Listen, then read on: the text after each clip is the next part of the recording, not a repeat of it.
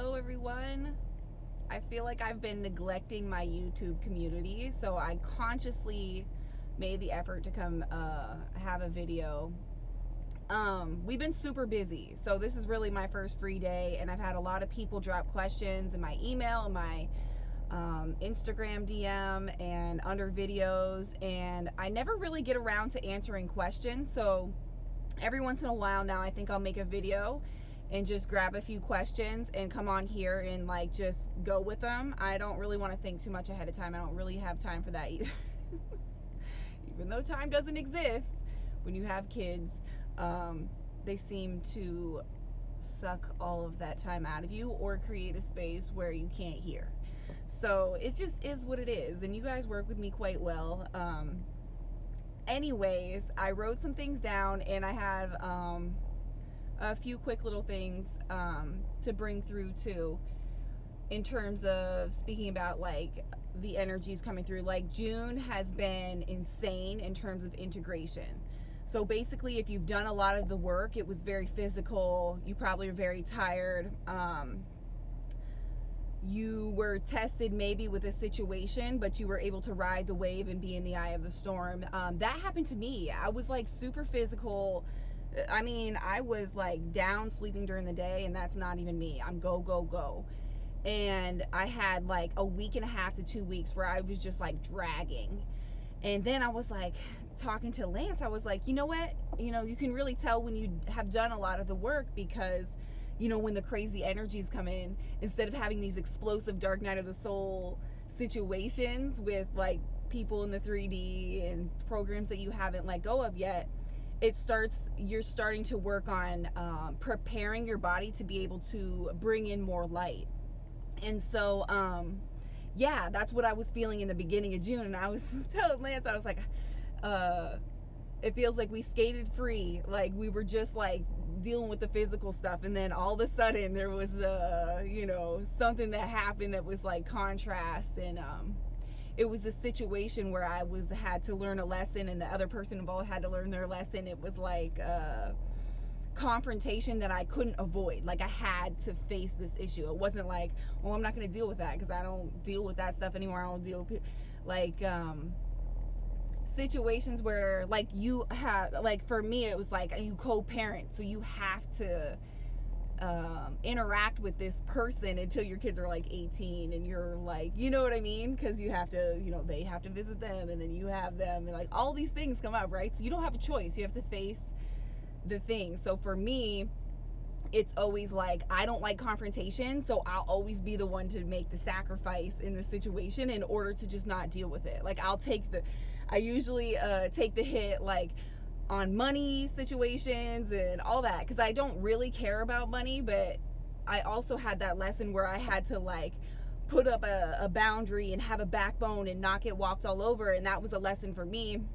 And it actually um, is in my mom's side in the bloodline, and most of the women are like that. They um, avoid confrontation, and so they're people pleasers and all that kind of stuff. So, anyways, I had a lesson come up at the end, you know, and you know, the funny thing of it is, is um, this actually relates to one of the questions that I had asked, but um, Lance was such an integral part of helping me through that situation, and I know for facts if it would have been me by myself going through it, it would have been a lot more difficult because I didn't have that unconditional love and support. So I'm actually going to go to that question right now because it just flows so uh, so well into it. And I was going to save it for last, but Spirit saying do it right now. So this was a question from somebody, and this was a YouTube um, under one of my YouTube videos. It says, "What was your story prior to union and self growth? Like in terms of compare and contrast the difference between being alone and trying to heal, and then healing when you're in union." Well, for me, the big difference is that if you're in union that's harmonious, which took Lance and I three years, well, two and a half, three years to get there, um, it makes life a lot easier um, in terms of support.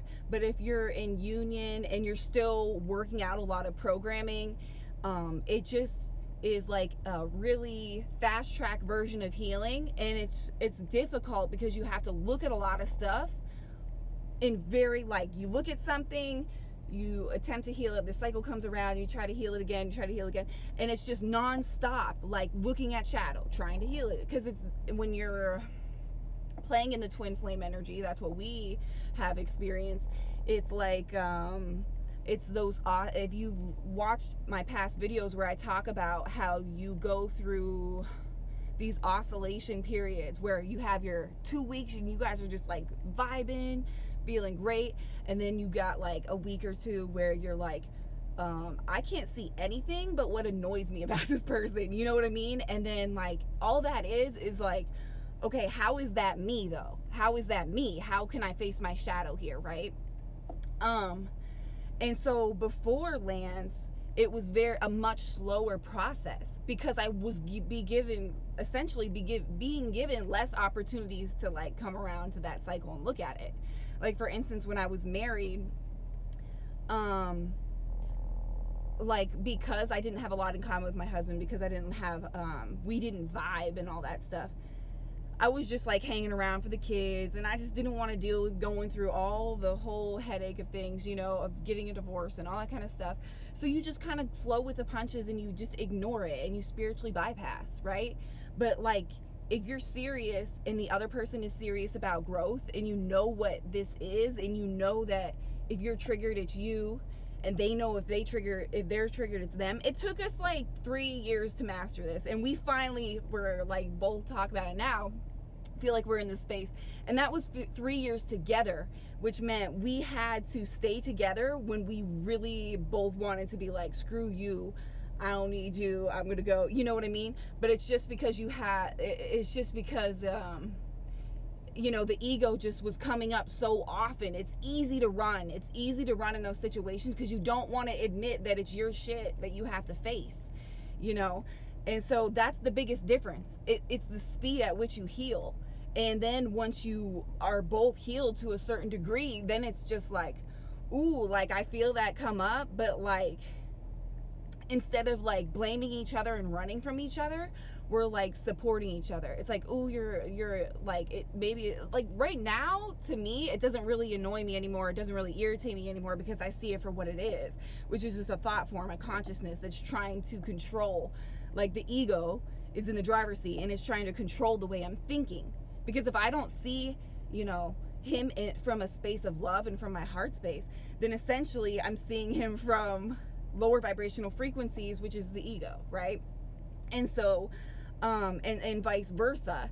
And the more you see your partner, the good qualities in your partner, the more they embody them. So if we just keep getting annoyed and just seeing the shit about them, um, it'll be more difficult for them to embody a better version of themselves because all you keep bringing up is the you know these things that are really just your problem because you need to face it instead of uh, you know you see what I'm saying, okay? So that's the biggest difference. It's the speed at which you heal. And then um it also flows into this next question which I have to address because I get it so freaking often and I also have a video to recommend um in terms of this as well, but it has to do with how do I know if this person is my twin flame? And that question um if I hear that question, I know there's just like, and I'm spirit. I literally wrote down here, quote, how do I know if someone is my twin flame? That's the question. Okay. Spirit said to me right after I wrote this down, don't sugarcoat this response because too many people are stuck and need to hear it. Do the work and you won't care. And so obviously my like my not wanting to deal with confrontation has me wanting to sugarcoat this topic. But at the end of the day if you're asking the question um and this is all with love. Just let me tell you like everything that i'm bringing through is is from a space of I love to observe the human behavior. And when you understand how different humans behave and in especially how you behave then you're able to understand that your brain is wired in a certain way to respond in to certain things.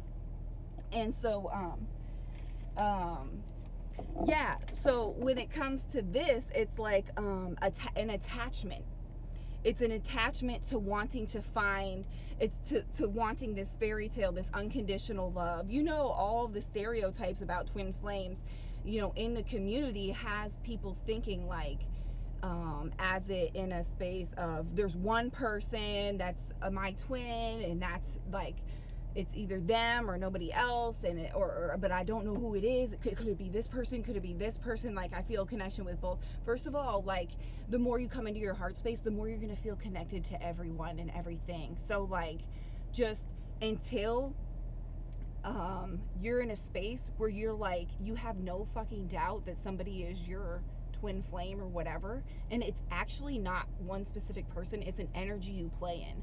So if somebody doesn't want to grow and they don't want to um, uh, release programming and face their shadow and you don't want to do the same like it's not going to happen. It has to be two people that are willing to do it.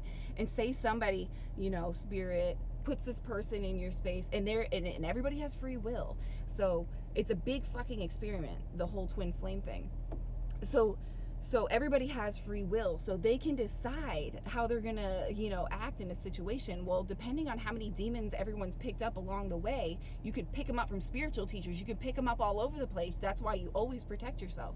But depending on that it, we don't know what the free will is gonna choose. So say you start playing in, in twin flame energy with somebody and then all of a sudden they're using your, their free will um, to have the ego in the driver's seat, not wanting to face their shadow and all that. How are you supposed to play in that? They're not um, going to be able to play in that energy with you anymore.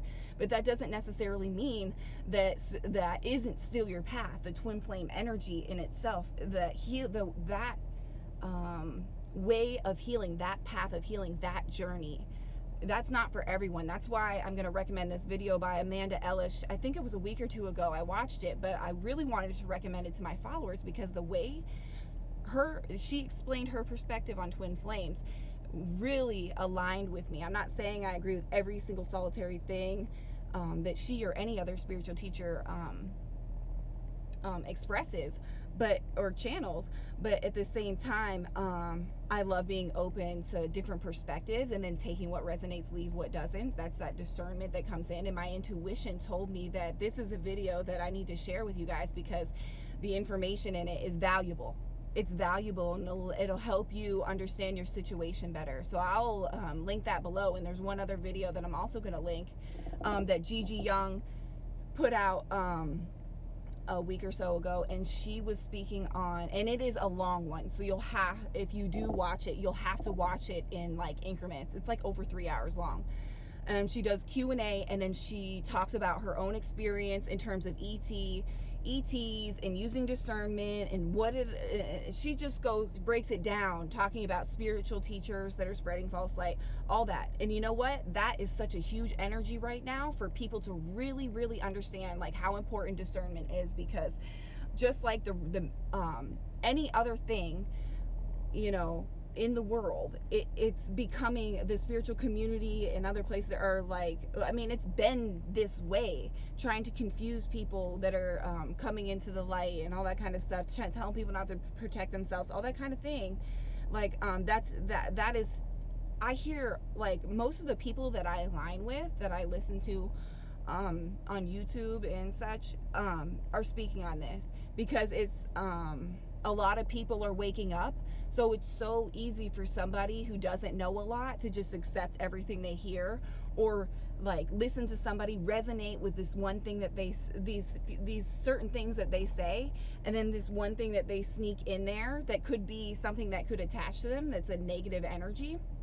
Um they accept that because that person has already said so many things that they like right so that's why dropping in that's why i love um, i used to not appreciate my gifts of clairsentience and claircognizance and just being an empath and just like being that person that feels or just knows things because it's not so obvious it's not like i'm hearing somebody in my ear like you know, I do get visions, but they're like daydream type visions or dream type visions. Like I'll have the whole freaking movie play out, but it's not like oh, like seeing you know whatever and you know clairvoyance and all that. You know, Lance that is so funny how we balance each other out. But um, I totally got off on a tangent.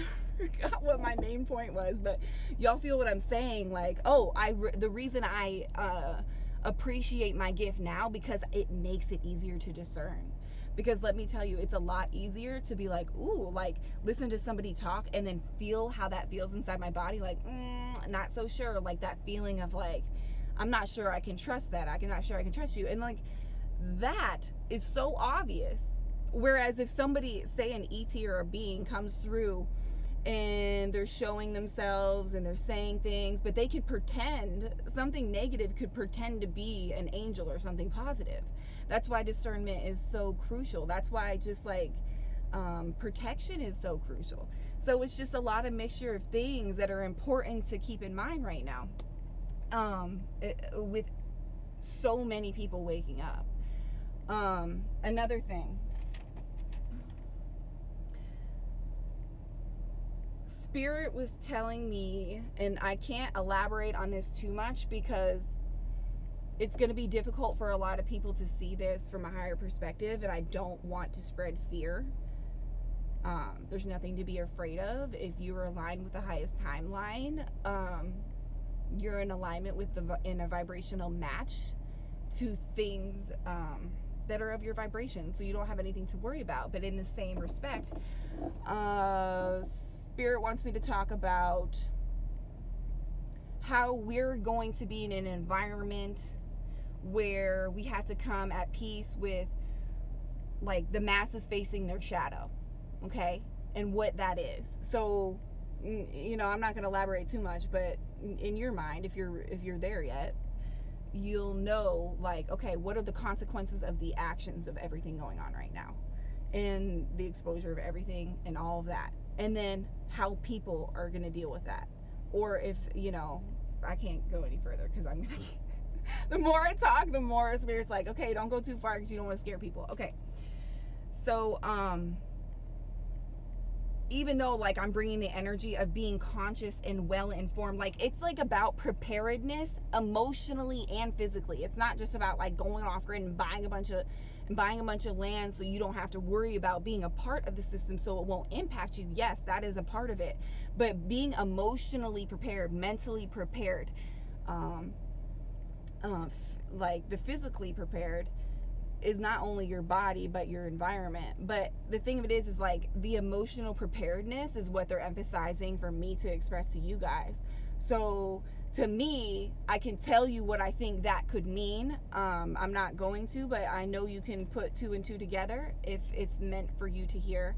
We need to be emotionally prepared period and understand death and transition well and if you do understand those things well if you, if you feel like you're not going to be emotionally prepared spirit's saying go um, spend some time understanding death and all of that um yeah so that was all I had written down. I do want to say thank you for um, everyone who donates to my channel. Like I totally appreciate it. Um, there's people who regularly donate to me and i always when i get on here and i start talking i always forget to say thank you and i appreciate you guys so much um yeah and also i'm gonna link those videos underneath here um the two videos one the one was about twin flames um with amanda ellis and the other one was gigi young in the contact protocol. Please watch the contact protocol if you are into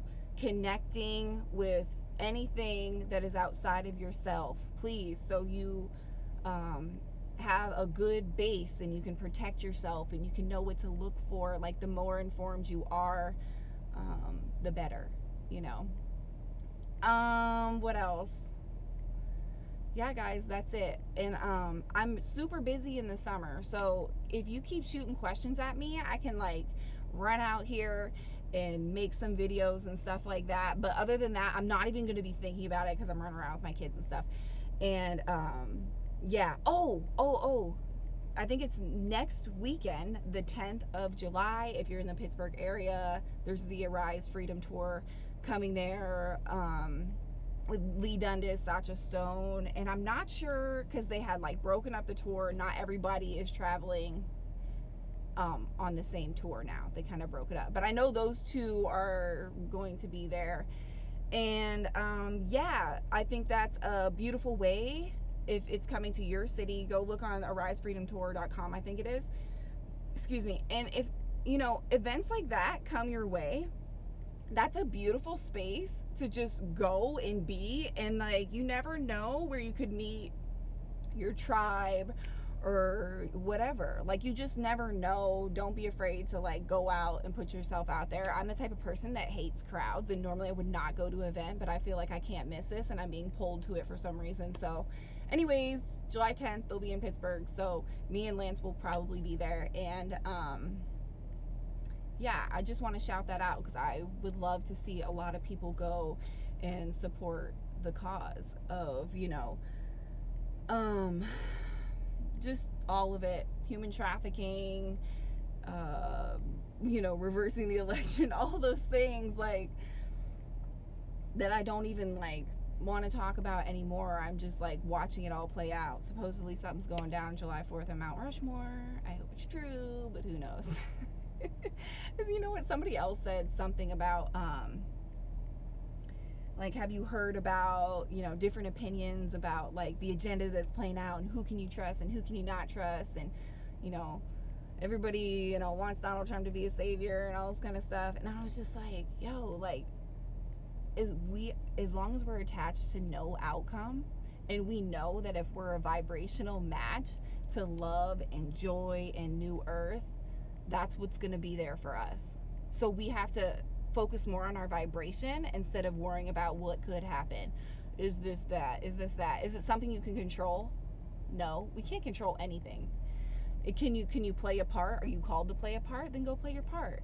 Are you called to like me be here with my kids and look for land so we can, you know, you know, start a community and like all the kind of stuff like just one day at a time. No pressure no pressure, guys. Stay in high vibes and you're going to be in alignment with things that are high vibe. But face your shadow. Because if you don't face your shadow, you're going to bring your shadow with you. Or it could be your demise, you know? Not necessarily demise because death doesn't exist, but don't, if, if, here's my thing. and I'm just going to say this once because I think about it all the time. And I know this, the people who are all love and light hate this, uh, perspective because they just want to act spiritually bypass. But at the end of the day, people who are past the point of return, no return in terms of waking up or raising their consciousness, they need to transition and go try again. Why are would you waste more time in this incarnation? You know what I mean? When when you've already just like, you know, it's done. It's done. You tried. You didn't you didn't, you know, pass your initiations. That's fine. Go try again you know? Um, and that's that piece we have to come to with, you know, in terms of the masses facing their shadows. We have to come at peace with that. But yeah, I already said I was shutting the video off. I'm off on another tangent. I love you. Leave me questions wherever, and I will, you know, whenever I get to it, I will try to come on here and answer them. And then I want to do videos or lives or something with Lance soon. We always talk about it. The house is never quiet enough, or it's too late at night. We get too tired. Like, but if you see us pop on a live on my YouTube, um, it's because it's a long time coming, and we have so much to share about our journey, and his perspective is important too. So, I don't know when that will happen, but it will happen. Um, because we have like like all I swear all day long we have like all these things we talk about and that we've learned on our journey and through interacting with each other. And then it's like wow we really need to make a YouTube video together again you know? And then we just never do. But when it's supposed to happen it will. And I have a feeling it might be soon because there's a lot of people um, that are right there you know? Right there in terms of just being able to maintain that union and grow together. Um, so it couldn't it couldn't hurt to have a here considering it took us three years to really master our egos. But yeah guys i love you and i hope you have an awesome rest of your day